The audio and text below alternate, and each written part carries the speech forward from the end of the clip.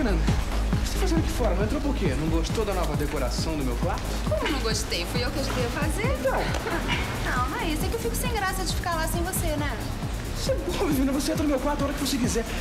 Aliás, eu, eu prefiro que você fique lá dentro bem guardadinho do que aqui fora meio solto. Ai, que absurdo. Não, não é nada disso. Agora, ouve o que eu tenho pra te dizer. O editor me falou que as matérias que a gente fez sobre adolescência têm grandes chances de virar um livro. Um livro? Não é possível, um livro. Tudo que eu sempre sonhei na minha vida é virar um escritor, Fernanda. Jura?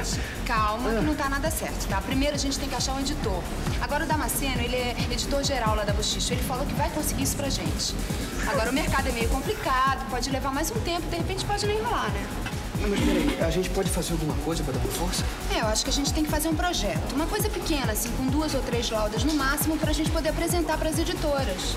Tá bom, tá bom, então vamos lá, né? Vamos agora? Não, não, não, não vamos.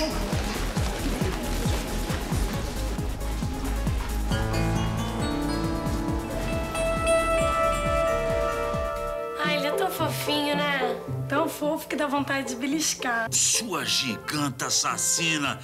Vai se meter com alguém do seu tamanho, vai! Oi, filhão. Socorro, pai! Me tira daqui! Essa loura quer me arrancar um pedaço! E aí? Deu muito trabalho pra sua tia, meu filho? Tia? Ué, é assim que chamam essas pessoas que ficam beliscando a gente? E sujo. Meu bem, vocês estão aqui? O, o que? Mas o que é isto, meu bem? Que modelito é este? Mas, pelo amor de Deus, foi eu que troquei a roupa do garoto, tá com calor, tá? Hugo, bem, francamente, eu sei, eu sei que o guarda-roupa do nosso pequeno herdeiro não é lá essas coisas, não é? Mas não precisa exagerar, meu bem. Isto está de uma pobreza franciscana. Ora, francamente, digamos que passe numa carrocinha e o veja neste estado, vai tomá-lo por um mero Silva, não é mesmo? Quando, no fundo, ele é o Simão de Andrade. Ah, mas que saudade do tempo que eu podia chutar. É mole reclamar, né, Doris? É mole criticar. Entre uma depilação e um cabeleireiro, até eu. Hugo, a gente vai dar uma voltinha com ele, tá? Tchau, gente. Ah, meu filho, cuidado, tá, meu? Cuidado com ele, hein, por favor. Doris, você não tem o direito de reclamar de nada. Porque você não liga a mínima pro nosso filho. E você é um mima demais. Francamente, Hugo, calor, frio, o menino deste tamanho não sente nada. Não tem condições ainda de sentir esse tipo de coisa. Você não entende nada de crianças. Brother, você tem que fingir que em vez de água é areia. Que assim, seu braço tá cavando, sabe? Escalando. Sei, Jade, mas é que eu já tô fazendo essa aula um tempão e só conseguia boiar. Ah, é o mais difícil, sabia? Tem muita gente, brother, que nada pra caramba e não consegue ficar lá boiando. Vamos tentar de novo?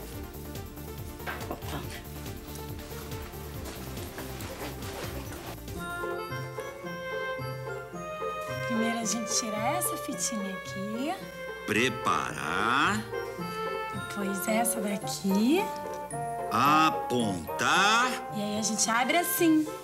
Fogo! Gente, me ajuda aqui.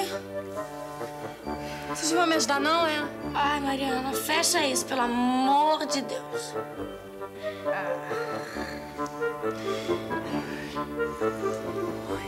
Dá óleo. Dá o talco. Fralda nova.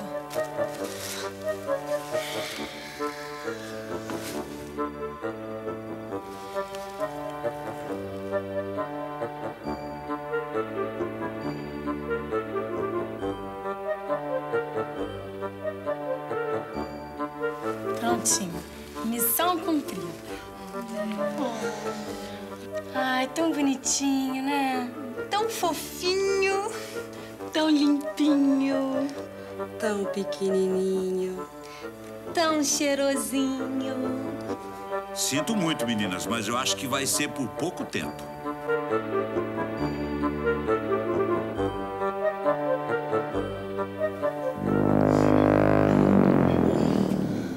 Ah, não acredito, Bart. Você fez cocô de novo.